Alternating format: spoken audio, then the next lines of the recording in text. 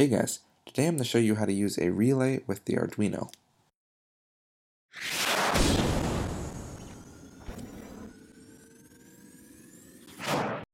What you're going to need for this circuit is a switch. I just attached breadboard wires to the end. An Arduino, some breadboard wires, and a breadboard, a USB cable to connect the Arduino to your computer, and probably the most important part is this relay. Now I'll have a link to this in the description if you want to go check it out. So first thing you want to do is put the relay on the breadboard and make sure that each one of its pins coming out of it has a separate rail. Next, place jumper wires connecting to four of the five rails. On the bottom, there's a diagram, so run wires from the three pins on one side, and also run a wire from the pin with the line going to it. Now run a ground wire and a 5 volt wire from the Arduino to the breadboard.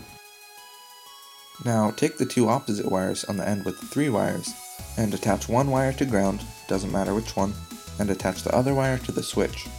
Then run the other end of the switch to 5 volts.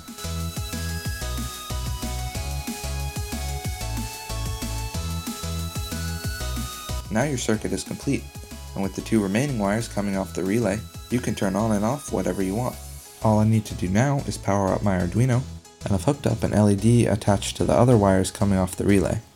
Now this LED is powered by a separate power source, this 9 volt battery. Now if I turn the light off, you can see that when the switch is pressed, the LED goes on and off.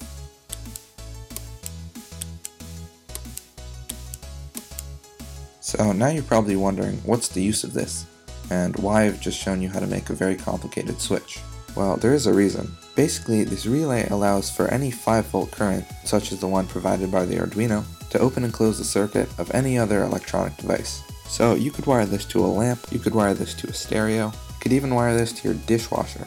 Anyway, the reason I made this a separate video is because I'm going to be using this circuit in many upcoming projects, and instead of explaining how to do it over and over again, uh, just refer back to this video. So, if you like this video and want to see more, then please subscribe.